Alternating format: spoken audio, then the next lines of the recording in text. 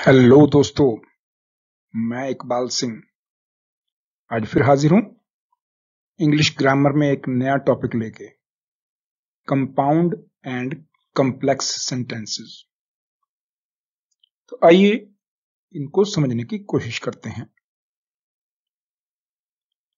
ही goes इस sentence में एक ही क्लॉज है, इसलिए ये सिंपल सेंटेंस है।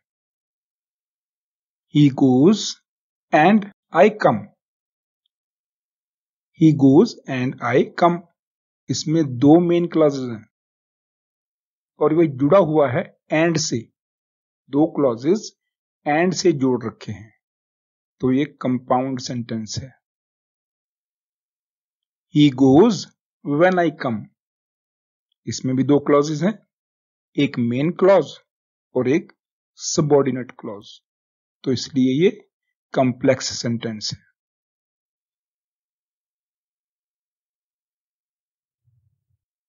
तो सबसे पहले सिंपल सेंटेंस वन क्लॉज उसमें एक ही क्लॉज होता है।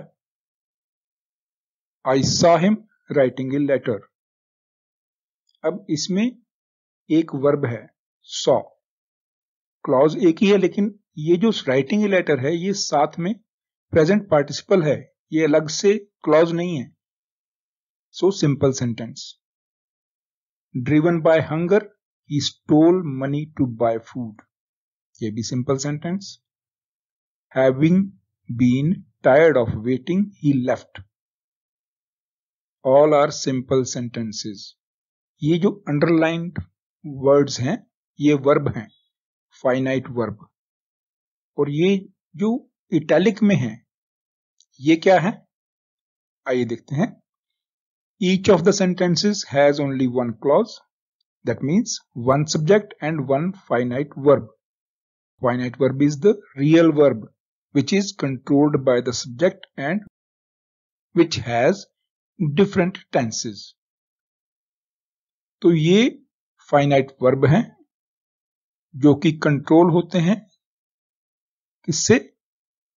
सब्जेक्ट से। और इनके अलग अलग टेंसेस हो सकते हैं।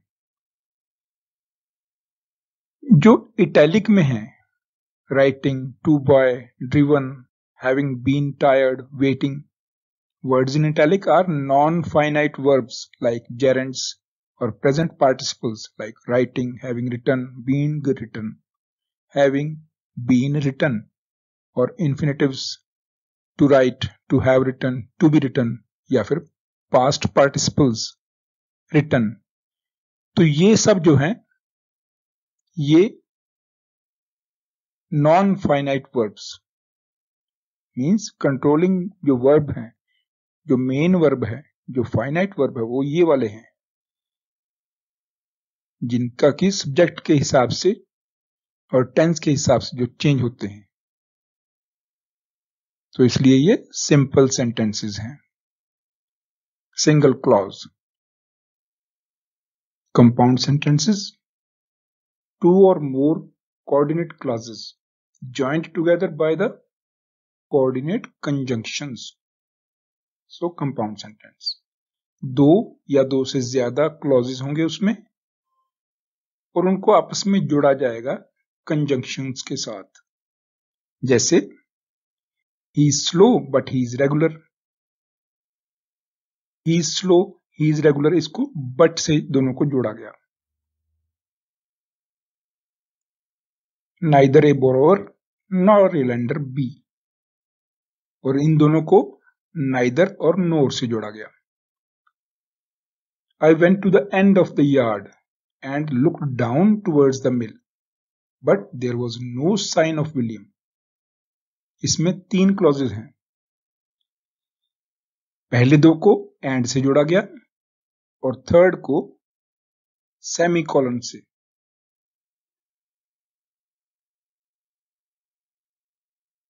समटाइम्स रिलेटिव प्रोनाउंस और relative adverbs are use to join the clauses of a compound sentence कभी कभी रिलेटिव प्रोनाउंस या रिलेटिव एडवर्ब्स को भी यूज़ किया जाता है ज्वाइनिंग के लिए। जैसे yesterday, I met Mohan, who gave me a letter for you. अब ये हु से जोड़ा गया? I met him yesterday when we talked about his sons marriage तो इन दोनों को वेन से जोड़ा गया?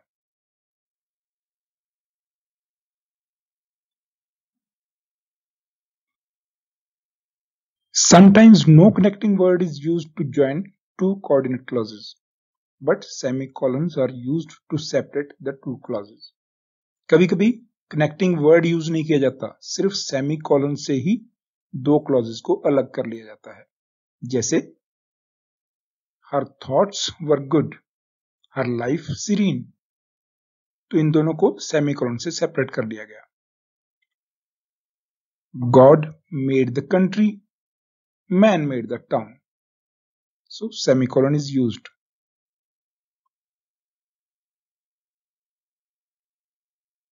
तो कंपाउंड सेंटेंसेस को एनालाइज कैसे करेंगे आइए देखते हैं break the sentence into its coordinate clauses सबसे पहले सेंटेंस को उसके जो अलग अलग क्लॉजेस में अलग उनको ब्रेक किया जाए, बांट दिया जाए फिर write each clause in full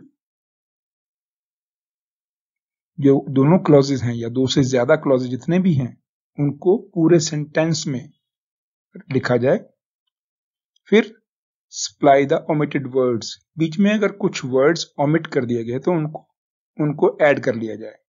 Then give the connecting words तो जो बीच में ज्वाइनिंग वर्ड है वो कनेक्टिंग वर्ड है, उनको लिखा जाए। तो ऐसे हम एनालाइज करेंगे। आइदर यू और he has stolen the book तो इसको एनालाइज करते हैं। You have stolen the book he has stolen the book तो ये दो सेंटेंस हैं, दो क्लॉजेज हैं, लेकिन आइदर और और से जोड़ा गया इनको। कनेक्टिव क्या है? आइदर और ये सेकंड सेंटेंस लेते हैं he wanted to buy new coat but he had no money so अलग अलग सेंटेंस कैसे करेंगे इनको क्लॉजेस को? He wanted to buy new coat he had no money और कनेक्टिंग कनेक्टिव क्या है? But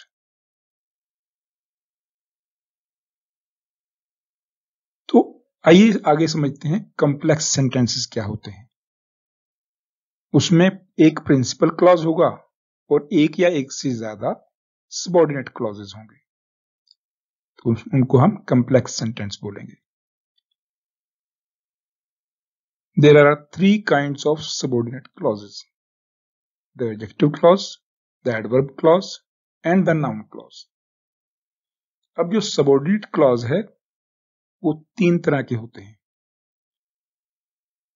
adjective clause adverb clause और नाउन क्लॉज इसको सबॉर्डिनेट इसलिए बोला जाता है क्योंकि ये इंडिपेंडेंटली एक मीनिंगलेस होता है। लेकिन जब प्रिंसिपल क्लॉज के साथ ऐड होता है तो इसका मीनिंग हो जाता है, इसलिए इसको सबॉर्डिनेट बोलते हैं।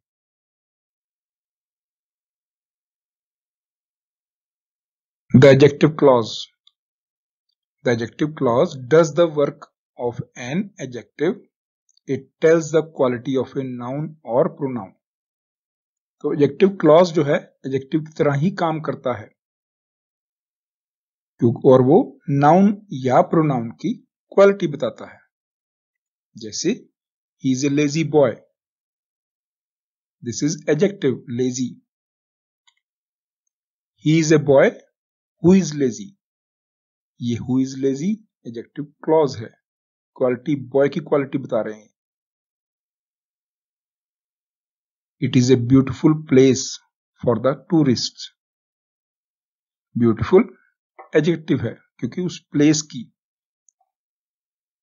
क्वालिटी बता रहा है।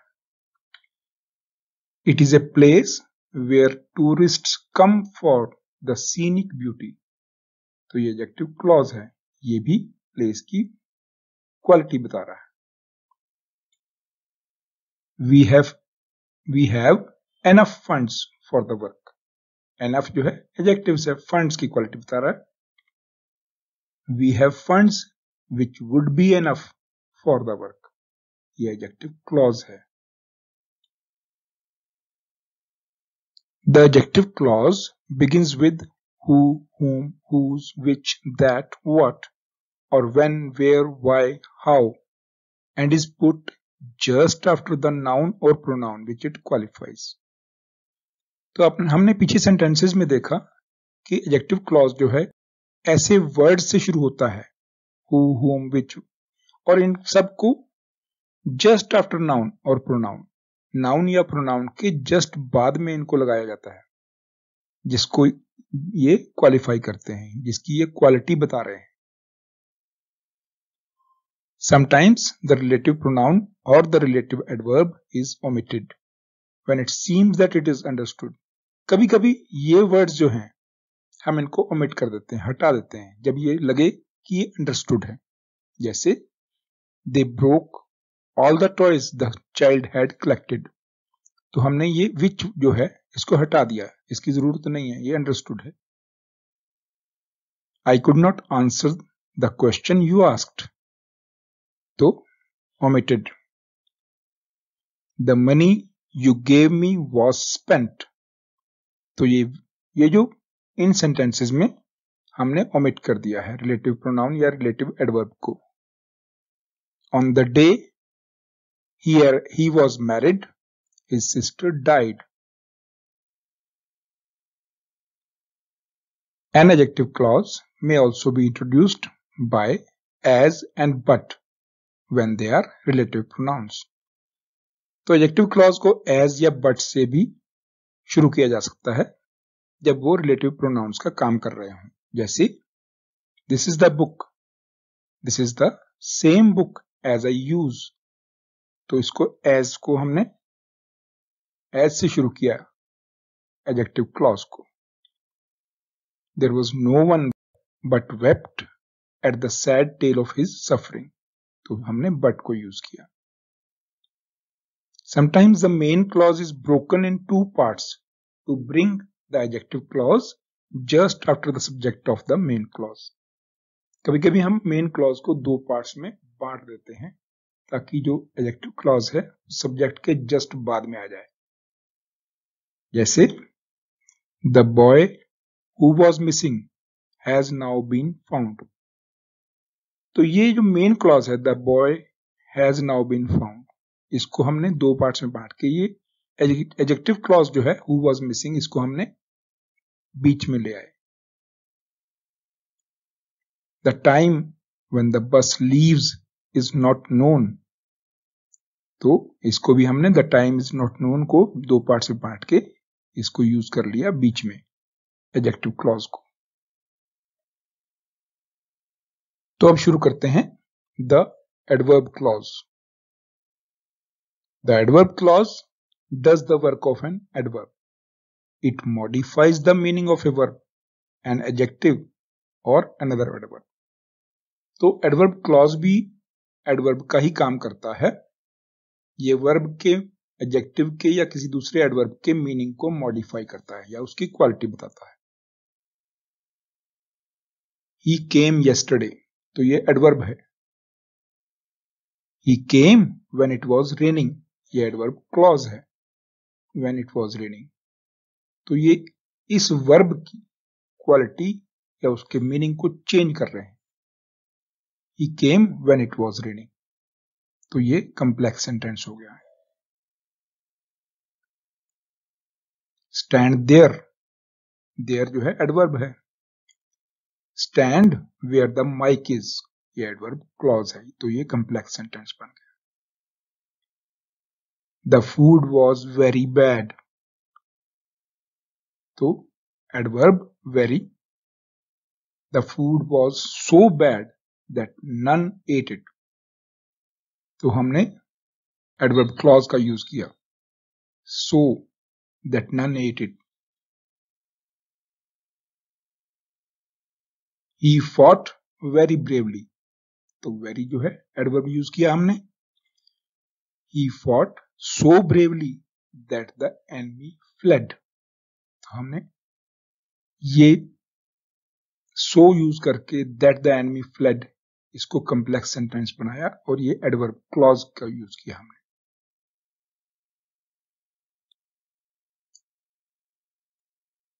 The adverb clauses are classified under the following heads.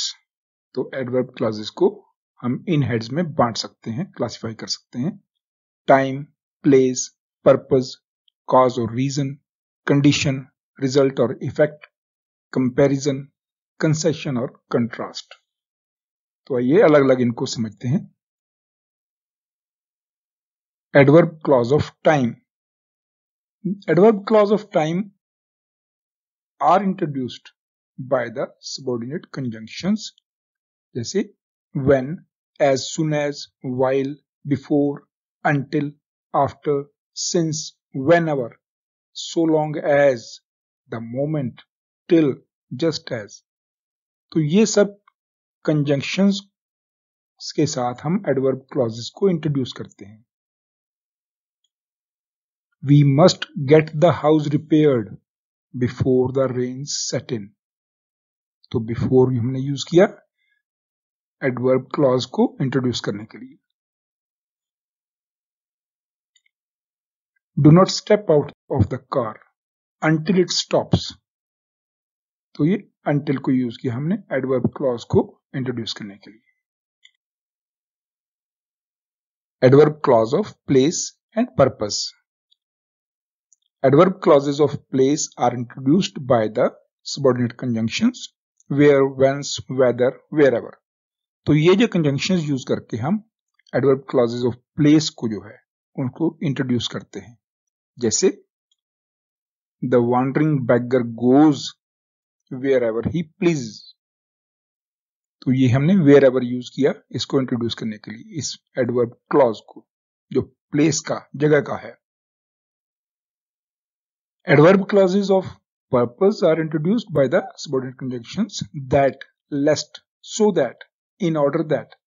तो ऐसे हम इंट्रोड्यूस करते हैं इन कंजंक्शंस के साथ, जो एडवर्ब क्लॉजेज ऑफ़ पर्पज हैं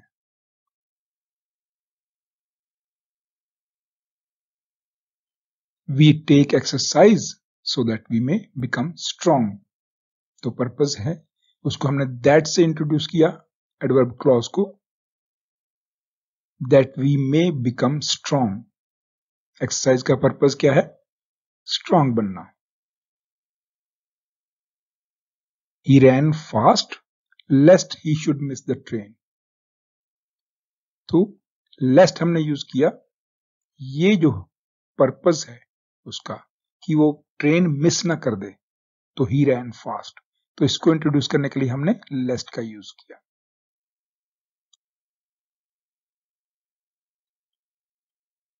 Adverb clause of reason.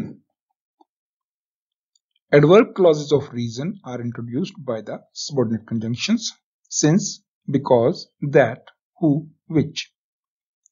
तो ये जो सब कंजंक्शंस हैं इनको हम यूज़ करेंगे इंट्रोड्यूस करने के लिए जो एडवर्ब क्लॉज हैं रीजन के कारण। I like Wordsworth because he sincere हमने बिकॉज़ को यूज़ किया। ये बताने के लिए रीजन बताने के लिए कि मैं वर्ड्स वस्त को लाइक क्यों करता हूँ?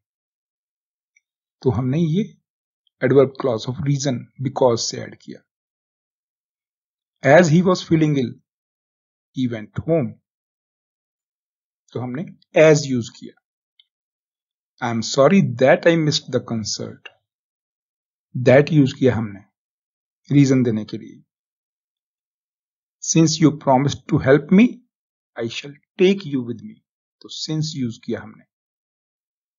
Adverb clause of reason adverb clause of reason इसको इंट्रोड्यूस करने के लिए।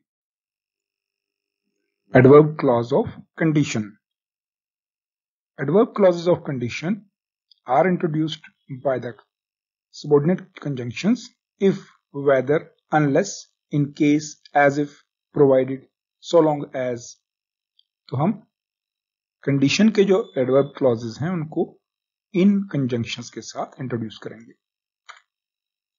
If you like it you may get it तो हमने इफ़ कंडीशन दी। इफ़ के साथ ऐड किया उसको और कंप्लेक्स सेंटेंस बनाया। I shall purchase this suit of clothes, provided it is cheap. तो हमने provided के साथ adverb clause of condition add किया। In case you miss the train send me a telegram तो कंडीशन क्या है? In case you miss the train तो in case ये हमने यूज़ किया इसको ऐड करने के लिए। Had I been rich I would have helped him with money should you be passing call in to see me तो ये थे adverb clause of condition adverb clause of result और इफ़ेक्ट किस चीज़ का रिज़ल्ट या उसका असर क्या होता है? तो वैसे जो क्लॉज हैं, उनको हम ऐड करेंगे इंट्रोड्यूस करेंगे किससे? With the subordinate conjunction that which is often proceeded by so और such in the principal clause हम उसको दैट से इंट्रोड्यूस करेंगे, लेकिन प्रिंसिपल क्लॉज में सो या सच प्रिंसिपल क्लॉज में सो या सच उसमें ऐड किया होगा पहले से। He is so weak that he can not walk हमने दैट से ऐड किया, लेकिन पहले प्रिंसिपल क्लॉज में सो लगाया, तभी इसका मीनिंग बना। He is so weak that he can not walk so hot was it that many died. तो that many died, लेकिन so hot it was principal clause में सो लगाया। और दैट से एडवर्ब क्लॉज को एड किया। Our new teacher speaks in such a low voice that very few of us can follow him such a low voice हमने principal clause में such use किया। और दैट के साथ हमने एडवर्ब क्लॉज एड किया। इस कंप्लेक्स सेंटेंस में। एडवर्ब क्लॉज ऑफ़ कंपैरिजन चीज़ों को कंपेयर करना। Adverb clauses of comparison of degree are introduced by the subordinate conjunction than और रिलेटिव एडवर्ब एज एज तो जो एडवर्ब क्लॉज है कंपैरिजन ऑफ़ डिग्री का क्योंकि कंपैरिजन भी comparison of degree and comparison of manner दो तरह से किया जाता है। तो जो कंपैरिजन ऑफ़ डिग्री है, उसको हम देन लगाएँगे या फिर एज एज लगाएँगे तो उसको इंट्रोड्यूस करेंगे। He is taller than his brother तो देन से हमने ऐड किया comparison of degree the daughter is as charming as the mother as और एज यूज़ करके हमने adverb class of comparison of degree उसको यूज़ किया। The days are as hot as the nights are cold as and as I like you no less than I like him no less than the higher you go the cooler it is. Comparison of degree.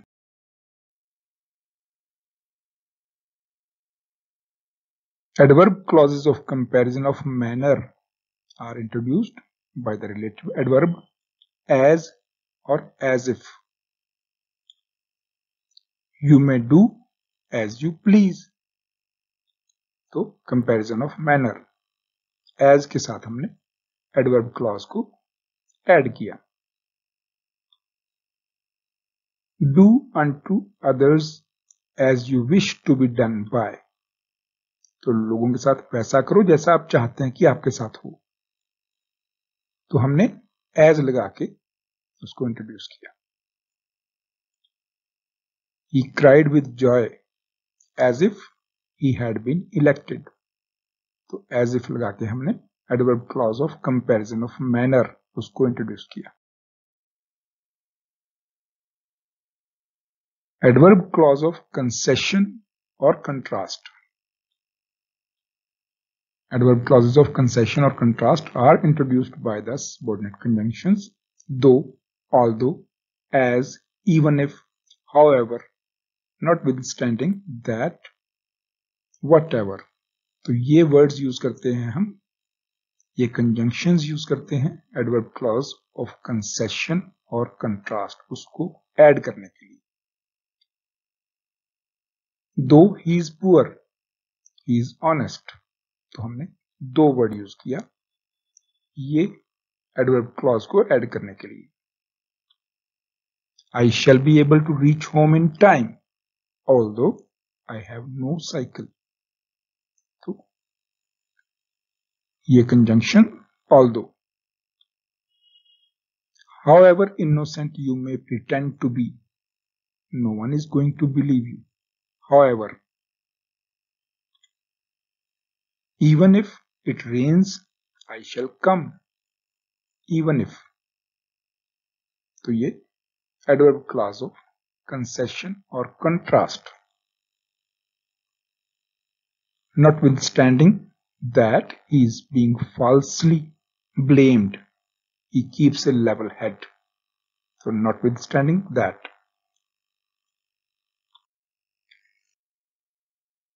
Complex sentences of the noun clause.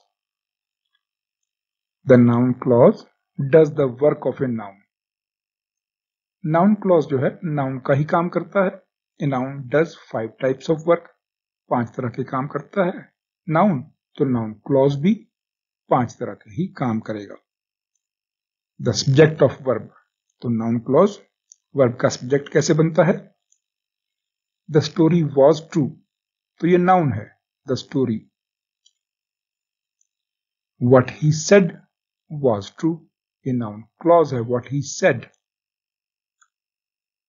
The objective of a finite verb, participle और infinitive तो finite verb का या participle का या infinitive का object बना के उसको हम यूज़ करते हैं नाउन क्लॉज को। ही टेल्स स्टोरी तो ये नाउन है story he tells that he will not go तो ये नाउन क्लॉज है that he will not go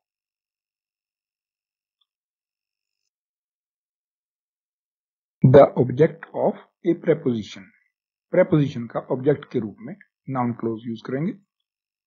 Pay attention to my story तो to is preposition my story is noun तो noun clause कैसे use करेंगे? Pay attention to what I say what I say ये जो है noun clause है। तो ये कंप्लेक्स सेंटेंस बन गया।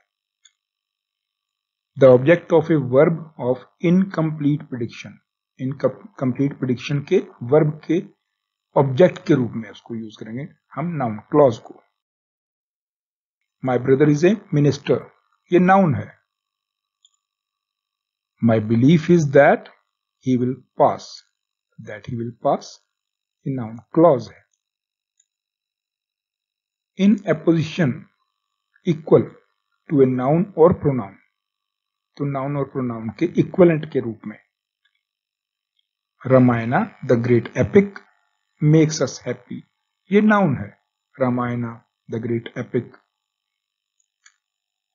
the news that he won made us happy that he won ये नाउन क्लॉज है।